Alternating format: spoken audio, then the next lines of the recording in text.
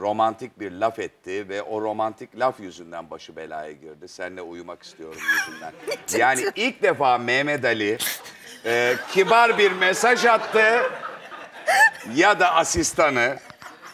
e, ya Mehmet Ali yani şimdi bunu tabii bozamayız da ilk defa kibar bir mesaj attı ve ilk defa ben Mehmet Ali yani ben bunu duyunca Mehmet Ali'nin başı seninle uyumak istiyorum yüzünden belaya girdi deyince mesela benim neslimin bunu anlamasına imkan yok. Ben diyorum ki inanılmaz bir şey. Yaş alınca duygusallaştı demek ki diye düşünürken meğer bu tam Aman ters ya. tepki.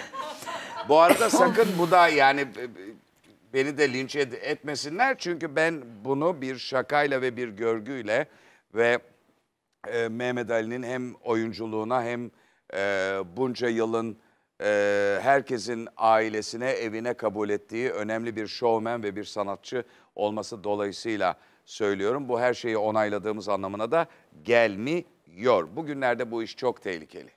Çok tehlikeli. Yani Nihal Yalçın, Tamer Karadağlı e, meselesinde de aynı şey oluyor. Siz de izliyorsunuz. Yani bazı gün görmüş insanlar, bizim gibi bu insanları tanıyan, bilen insanlar bu konuda e, yüzde yüz linçler yerine biz biraz daha dengeli e, davranmayı ve anlamayı tercih ediyoruz. Yani anlamak, linç etmeden önce bu niye böyle yapmış olabilir, bu niye şöyle yapmış olabilir.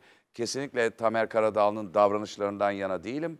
Ama bir yandan da belli ki bir organizasyon problemi var.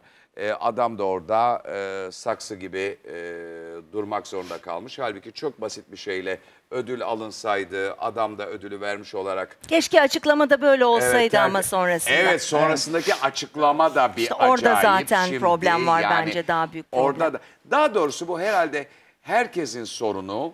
Çünkü herkes artık meşhur ve herkesin e, kriz yönetmek, kendini tanıtmak e, ve başına bir şey geldiğinde bunun sonrasında e, haklıyken haksız çıkmayacak bir şekilde o krizi yönetebilme kabiliyeti olması lazım. Ben eskiden sen bilirsin bilmezsin bilmiyorum. Bir ara ben böyle bir şey haline gelmiştim. Çok önemli isimler bana danışırlardı. E, ne yapayım ne edeyim falan filan diye. Ben çünkü kriz yönetebilirdim. Yani kendimle ilgili birçok krizi, çok ağır krizleri de yönetmişimdir. Tavsiyelerde de e, bulunurdum.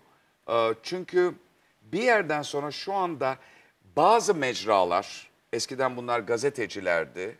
Yani bitip tükenmek bilmeyen düzeltme çabaları gazeteciler üzerinden, özellikle magazin gazetecileri üzerinden yapıldığında hiçbir işe yaramıyor. Bugün özgür ifade platformları olarak değerlendirdiğimiz yerlerde de yapılamıyor. Örnekse Twitter'da yapılamıyor.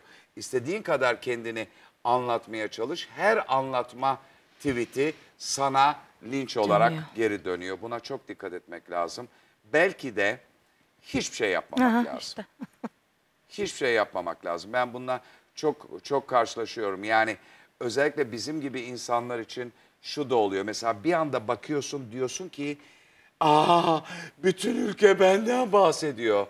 Ya öyle değil. Kimse senden konuşmuyor ama sen ismini Google'ladığın için bütün copy paste yapan medya sitelerinden arka arkaya dökülüyor sana ve diyorsun ki evet herkes benden bahsediyor. Aslında kimsenin umurunda değilsin. Ama bu belli bir yaş grubuna bunu anlatamıyoruz da. Ya belli bir mesela benden daha büyüklere ben bunu anlatamıyorum. Kimsenin umurunda değilsin desem adam intihar edecek çünkü. Ee, yani aslında değil. Ben de değilim. Sen de değilsin. Çünkü artık herkes izlediği şeyi tercih ettiği için, kanalları tercih ettiği için zaten o enformasyonu kendi tercih Tabii, ettiği tabii, yerden oradan alıyor. alıyor. Başka bir şey görmesi ya da duyması mümkün değil. Tabii. Ve sen adamın kanalı olarak yoksan, yoksun. Yaşamıyorsun hatta. Bitti.